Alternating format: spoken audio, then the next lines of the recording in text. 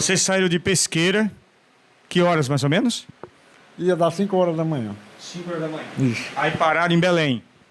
Parou em Belém para tomar Uma café. história que o mendigo pediu um dinheiro a ele, alguma coisa assim. Você lembra dessa história?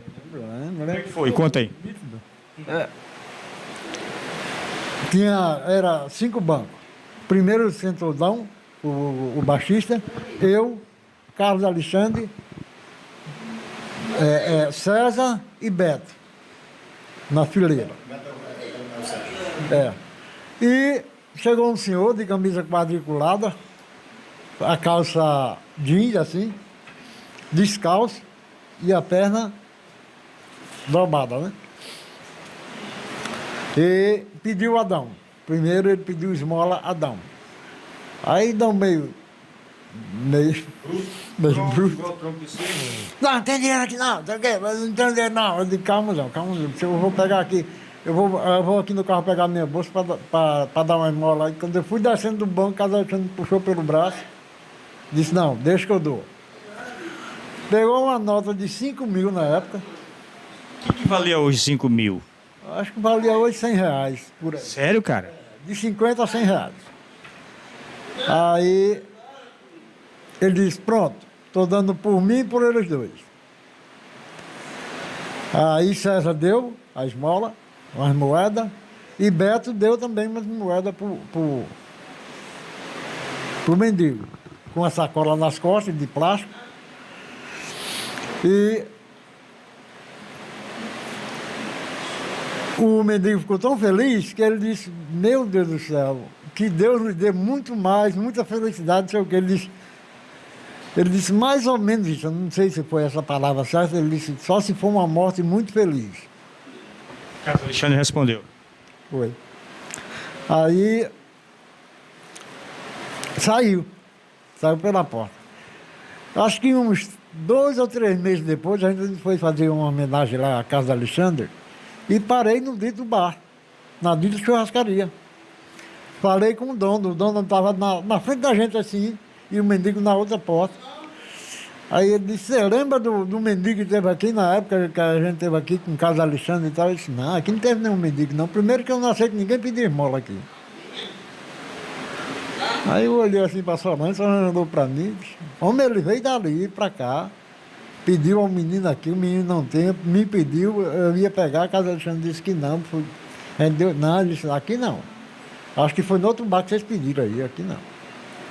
Então, ficou a palavra dele contra a, minha e a de Dão, né?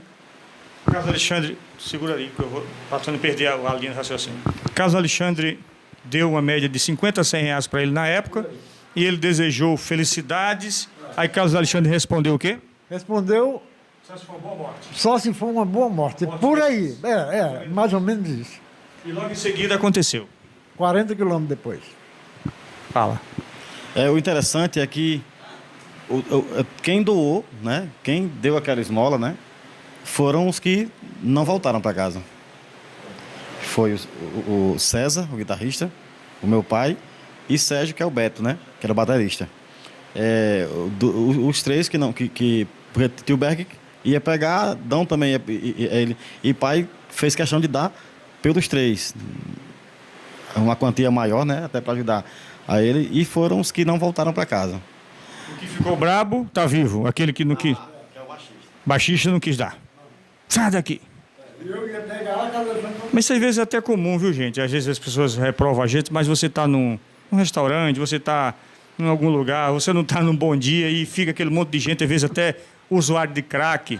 A gente tem que respirar fundo, né? Até porque tem um. Você não está no bom dia. Às vezes a gente é muito hipócrita para criticar as pessoas, fuzilar as pessoas, mas às vezes você não está no bom dia. Não significa que o cara é ruim ou o cara é bom. Quem julga é Deus, não é isso? E eu acho que é, é- é a palavra do dono da churrascaria.